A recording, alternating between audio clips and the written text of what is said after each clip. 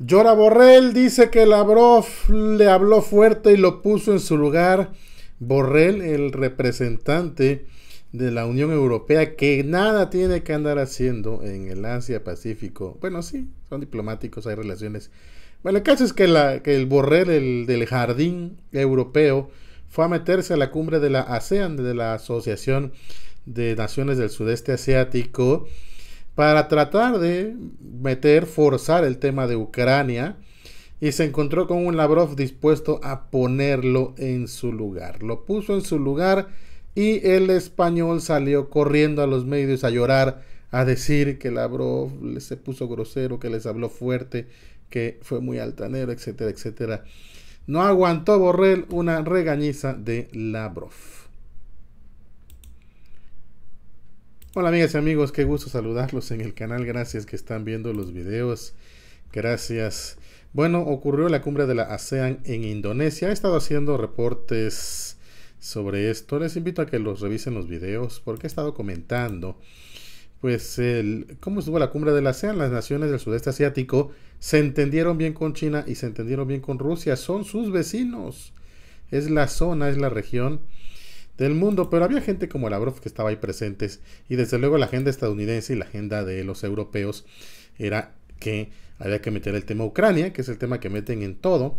Así que bueno, pues sí, los ministros de Exteriores de la ASEAN sacaron un comunicado que fue este, cabildeado por los Estados Unidos para apoyar a Ucrania. Específicamente, los ministros de Exteriores de la Asociación de Naciones del Sudeste Asiático, la ASEAN, señalaban el viernes que reiteraban su respaldo a la integridad territorial y soberanía de Ucrania y abogaron por el diálogo genuino para resolver el conflicto. Así lo expresaron los ministros del bloque en un comunicado conjunto emitido el viernes por la noche en Yakarta con motivo de las reuniones regionales del bloque y sus socios externos que finalizaron este viernes. Respecto a Ucrania, como para todas las naciones, continuamos reafirmando nuestro respeto por la soberanía, la independencia política y la integridad territorial, dice el comunicado, que también pide la protección de los civiles, trabajadores humanitarios y personas vulnerables. No obstante, el texto no menciona expresamente a Rusia como invasor de Ucrania en un intento de la ASEAN de permanecer neutral en el conflicto. O sea, sí, la verdad es que los vecinos, los socios de Rusia en la región no se, no se meten tanto. Eh, Rusia logró buenos acuerdos también con la ASEAN también sacó un propio comunicado firmado por la ASEAN hablando de la estabilidad global, de la dependencia, de la soberanía. Es decir, la ASEAN a los dos les firmó, tanto al, a Estados Unidos y sus seguidores como a Rusia eh, en ese sentido. Sin embargo, hay una obsesión que eh, llega, desde luego, eh, entre los europeos, lo traen ahí en la mente todo el tiempo una obsesión. Y Joseph Borrell, el del jardín europeo, pues traía esa obsesión y la quiso llevar a la mesa. Y entonces ahí le tocó, ¿sabes qué? No, no, le dieron... Y esto lo sabemos porque no hay acceso a las discusiones privadas que tienen entre los diplomáticos. Lo sabemos por el propio Borrell que salió corriendo a llorarle a los medios que le habían puesto su regañiza tremenda, una regañada por andar queriendo meter temas que no. Fíjense que el ministro de Relaciones Exteriores se informaba por la agencia francesa de noticias, arremetió el viernes contra las críticas a la invasión de Ucrania, expresadas por varios cancilleres en una reunión en Indonesia, dijo el jefe de la diplomacia de la Unión Europea. Lavrov me respondió de una manera muy agresiva y me explicó su punto de vista afirmando que todo es una conspiración de Occidente y que la guerra va a continuar. Le lloró prácticamente a los periodistas el diplomático español Josep Borrell durante una reunión de la Asociación de Naciones del Sudeste Asiático, la ASEAN en Yakarta. Borrell afirmó que le explicó a Lavrov por qué el bloque europeo de los 27 apoya a Ucrania y le pidió a Rusia que retirara sus tropas ya que considera que es la única forma de terminar con la guerra. Así que Borrell corrió a decirle, este, quiso meterse con... Ya Lavrov la verdad es que ha barrido con, con Borrell como tres veces. En el 2001, en una reunión bilateral que tuvieron, lo exhibió frente a la prensa, luego le corrió a unos diplomáticos, lo dejó como un ignorante. Lavrov le ha hecho a Borrell lo que no se imaginan ustedes. El caso es que ahora sale Borrell a, llorarle a los medios. Ay, Lavrov me respondió de una forma agresiva, dice. Pues ahí está.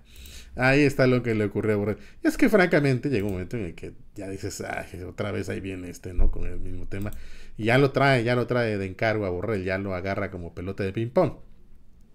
El propio Lavrov ha dicho que hay una obsesión de Occidente, una megalomanía, decía él, eh, eh, precisamente en Indonesia de esas declaraciones. Vamos a verlo. La megalomanía se refleja en todas las acciones de la dirección de la Secretaría de la OTAN y los países miembros en general. Esto lo ven todos. A veces se les sale una confesión freudiana, como dijo recientemente Burrell, de que Europa es un jardín floreciente y lo demás es una jungla que, en resumen, debe ser tratada en consecuencia. En un cambio sin perspectivas, es un camino que una vez más confirma la urgencia de la tarea que ahora hacemos junto con varios socios de contrarrestar las formas modernas de colonialismo, los intentos de hegemonía en los asuntos mundiales y la violación directa del principio de la Carta de la ONU sobre la necesidad de respetar en la práctica, en los hechos, la igualdad soberana de todos los estados. Los documentos doctrinales de Estados Unidos y de la OTAN afirman que tanto Rusia como China son una amenaza y un desafío. Pero ahora Stoltenberg dijo que no solo los planes, sino también las relaciones entre Rusia y China son una amenaza para la alianza transatlántica. Es decir, según su opinión, ni siquiera podemos tener relaciones.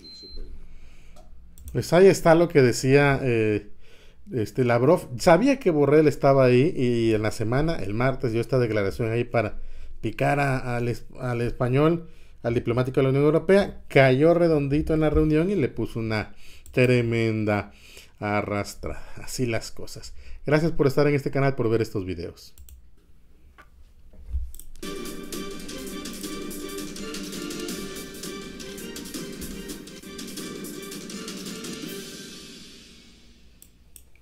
Hola amigas y amigos, gracias Queremos darle muchísimas gracias desde el fondo del corazón por apoyarnos siempre. Desde hace meses traemos una especie de veto de bolsillo, así lo he llamado.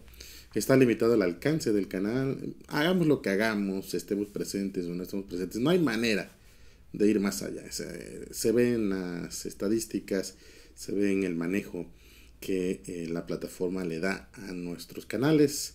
Eso no quiere decir que vayamos a bajar las manos o a desistir. Por la pequeña rendija que tenemos para llegar a ustedes, seguimos haciendo presentes y queremos también que ustedes nos apoyen. La forma de ayudarnos es buscando todos los días nuestros videos. Quizá faltemos en algunas ocasiones, pero si ustedes nos buscan de manera directa en el canal, sin duda alguna podremos seguir presentes aquí.